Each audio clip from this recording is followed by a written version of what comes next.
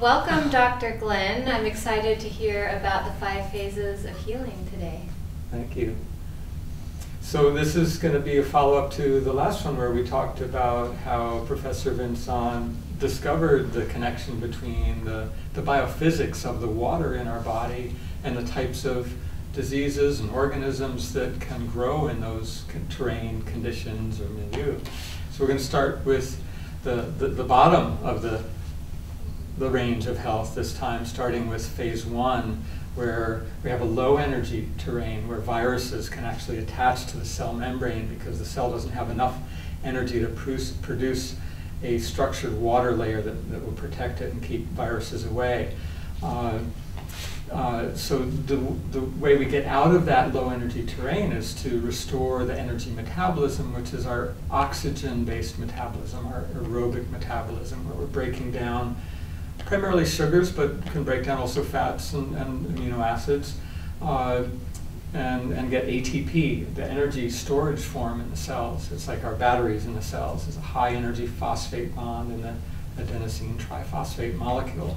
We get 36 of those from every sugar molecule that we break down efficiently in, uh, with, with oxygen in the mitochondria. If we're not using oxygen, if we don't have oxygen available to the cell, the mitochondria has got nothing to do, it's got, doesn't have the oxygen to work with, and we're fermenting about 3 versus 36, so about 10% efficiency in the cytoplasm of the cell, just in the, the solution, the, the plasma in the cell. Uh, so we need oxygen for that. We need to be able to get food, uh, you know, nutrition in there. Not only the uh, the, the the sugar or you know carbo- carbohydrate that that breaks down to sugar or uh, amino acid from protein or, or fats and oils, but also other uh, other cofactors, vitamins and minerals have to get into the cell. So so uh, circulation, which requires uh, movement, requires opening up the blood vessels. Uh, our blood vessels can get narrowed, can get, you know, we know about cholesterol deposits in, in the blood vessels can narrow the, the arterial or artery, the small artery uh, opening so that the blood can't flow through as easily. So there's, there's a number of different aspects to reversing that process and it really depends on how deeply embedded we are in that. Like with cancer, obviously in a cancer cell, it's in, it may be in the middle of a tumor, and it's so surrounded by abnormal tissue. It's it's in order to grow, it it, uh, it stimulates the growth of new blood vessels, which are abnormal vessels, and there's there's a complexity to what's going on there. But what they found uh, over the the about 60 years of working with this method in European biological medicine is that uh, at least in, in the beginning stages of cancer, unless it's too far gone, they are able to reverse those changes. Even going back to the 1920s, Nobel Prize winning research that uh, uh, the prize was given in 1931 to Otto Warburg uh, for his research showing that you could take cancer cells, get them a higher level of oxygen, and they would be able to revert back to normal cells. So, so that's the goal with self-healing and accelerating the and supporting the process of self-healing, which is what our bodies are designed for, um, is to get the immune system in there to break down the extra proteins that are trying to seal off the tumor from the rest of the body.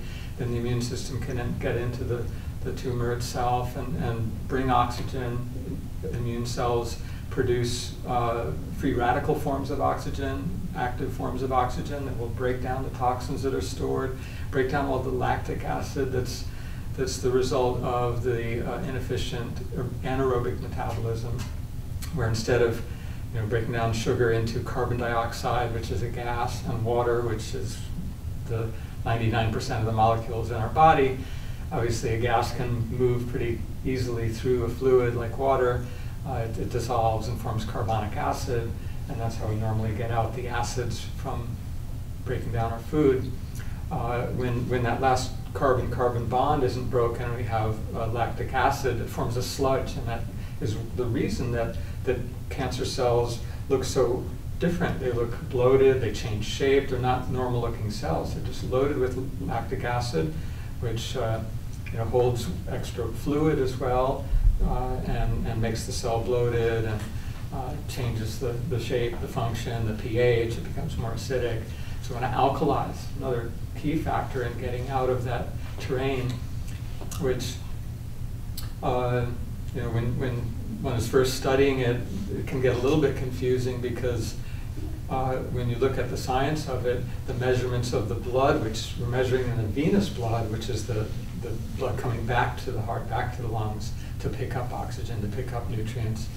That blood is actually too alkaline, but we need more alkalinity to balance the, the acids that are staying in the cell. So it's the fact that we're building up acid in the cell, which is a waste in the cell, and we need alkaline to balance the acid in order to be able to remove it. So the reason it's a problem that in, in that phase one terrain that the blood is too alkaline is that we don't have enough alkalinity, enough like calcium, magnesium, calcium being the main alkaline buffer in the body, what our bones are made out of. We start pulling it out of the bones, but we need it in the bones too.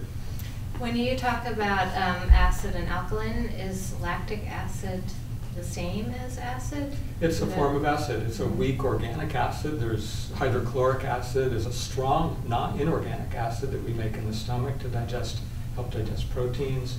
So there's different types of acids. Uh, but basically, we need to move them out of the cells. By, by function, our cells are acid. They make acid when we use food to make energy. Acid is like the waste product that's left over. So always, if our cells are functioning and working, they're always going to be making plenty of acid. Uh, and so we need the alkalinity in order to balance that, to, to maintain that function. Otherwise, the acids build up and the cells bloat and they become degenerative or cancerous or get viral infection. So when, when we're able to move out of that zone, sometimes uh, we'll go through a healing crisis which can involve a fever. It can even involve a bacterial infection, like I mentioned in the other session, about 3,000 cases on record of spontaneous remission of cancer, where even metastasized cancers in some cases will spontaneously dissolve and, and disappear from the body within usually a few days. And it's always with a high fever. Uh, high fevers, 102, 103 degrees and higher, are, are characteristic of uh, bacterial infections. And it's not the infection, not the bacteria that causes a fever. People don't necessarily realize that. It's actually the immune response. Our body is designed to create a higher temperature.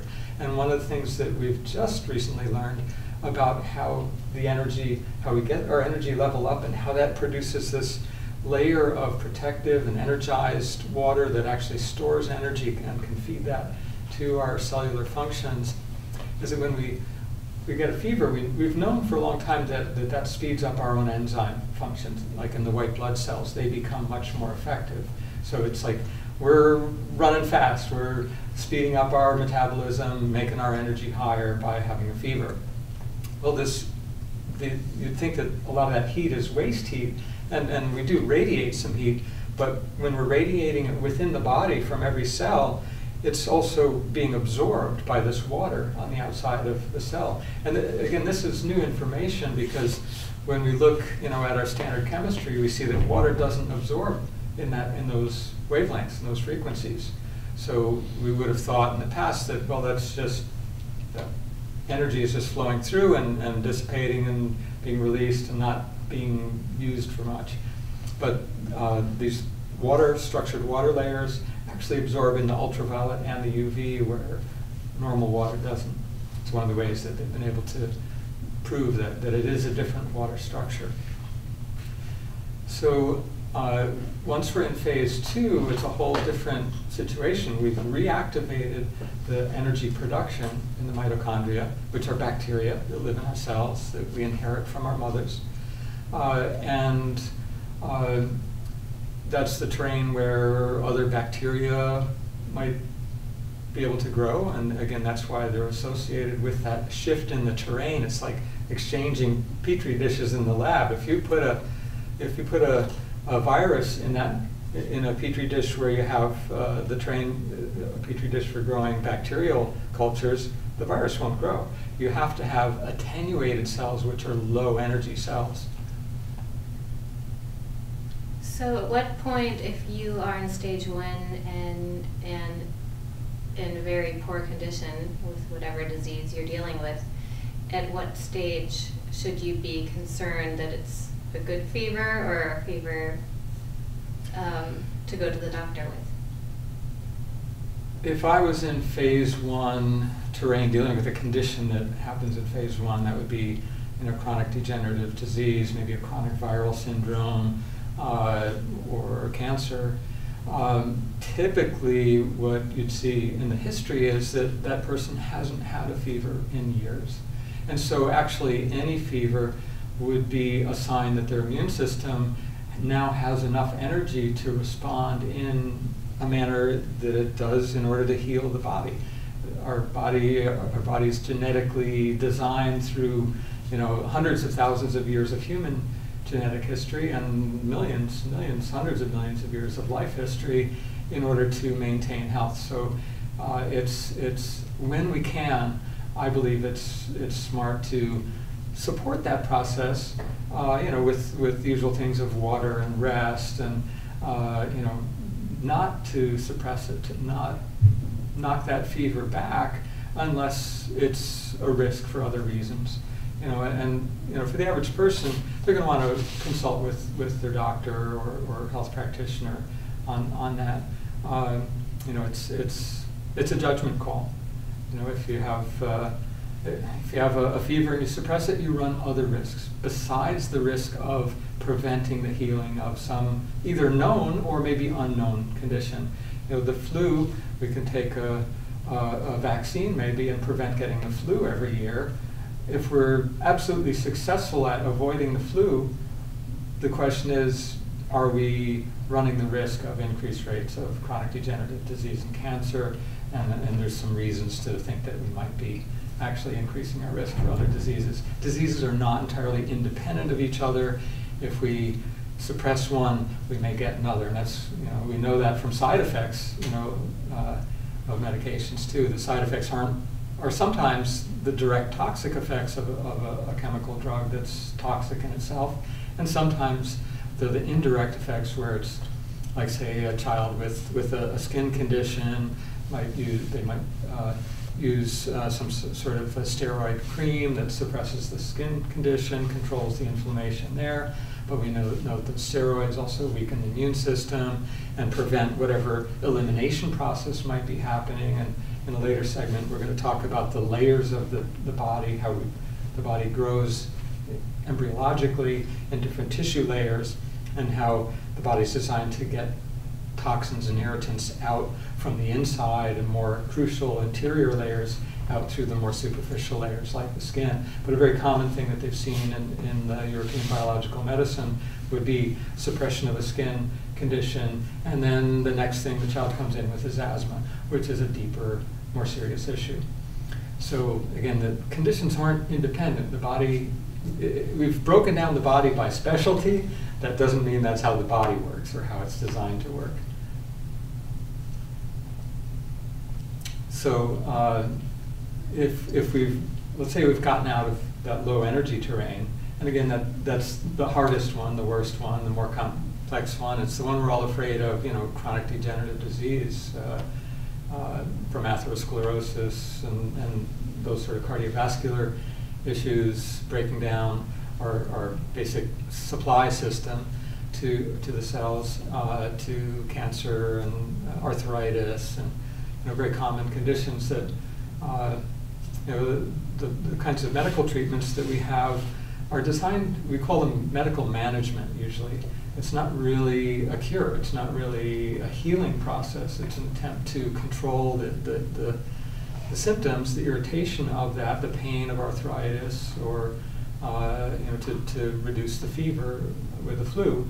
But uh, again, what we're talking about is a different idea of, of health that our goal is to restore a higher level of health that we may have had in the past uh, or attain that health you know, maybe we never had if we're born with, with issues.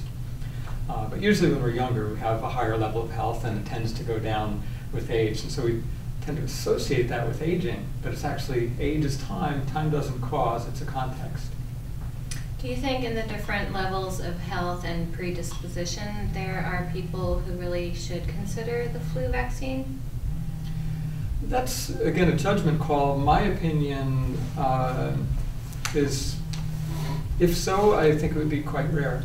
Uh, you know, there, there certainly are people who are infirm who are at high risk uh, of having complications with, with, a, with a flu. There's also people who have complications with vaccines. Uh, it's not, it's not, you know, nothing is completely safe in life. uh, but if you look back at uh, historically, when, when flu was one of the, the, the big killers, uh, you know, back in the late, late 1800s, for example, when there was, we still had a, uh, a system of medicine in the United States that had, had freedom of uh, philosophy, not, not a single type, and which they do have in Germany, they do have in Japan, other countries these days, but the United States for the past almost 100 years has been a, dominated by one single model, uh, the allopathic school of, of medicine, which uses patent drugs and surgery. Uh, if you look back at the late 1800s, there's records that show that the homeopathic hospitals, and then at that time most of the hospitals in the United States were homeopathic hospitals, they actually had a much higher survival rate in the big flu epidemics than the allopathic schools did. Now, we have different drugs in allopathy today than we did back then.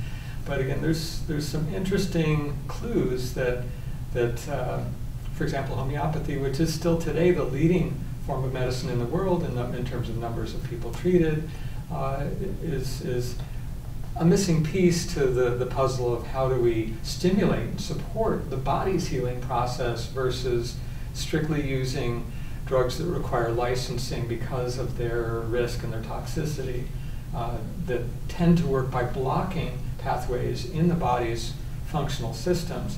Body doesn't have extra systems, just like in surgery, it doesn't have, so we're not born with extra organs very often. And yet, unfortunately, there's still this idea of preventive surgery you know, even breast surgery sometimes these days. But uh, the common thing would be removing the appendix, well, because we're in there anyway, and you could have a problem with the appendix. The thing is, the appendix is not a vestigial organ as it was thought, you know, maybe 50 years ago. We now know that it's part of the immune system. It's, it's a, a, a lymph tissue. It's like a lymph filter for the colon area, and it produces compounds that it secretes into the large intestine that help regulate the bacterial balance.